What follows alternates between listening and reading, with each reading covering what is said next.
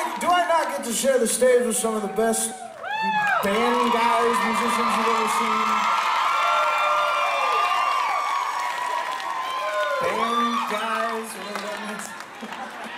I'm, uh, I'm, I'm very fortunate, you know, I get to travel the country with, uh, with some of my best friends and make, make noise every night for a living. It's pretty rad. And, uh, the best part is I've known these guys for a long time. In fact, I've known, uh, I've known Neal and Andy and Monty here for almost eight years now. And, uh,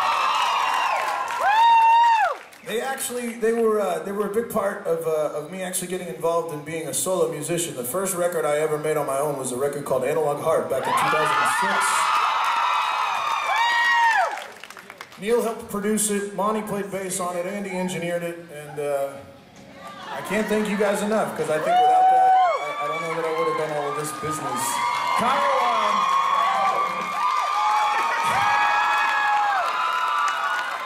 Kyle, you uh, you play drums real good, okay? So keep it up.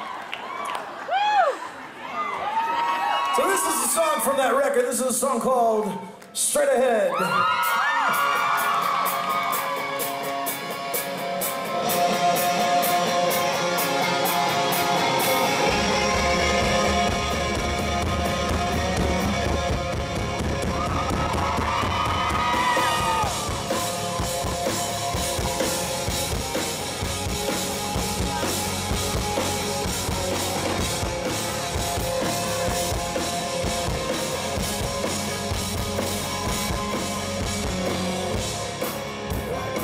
ocean.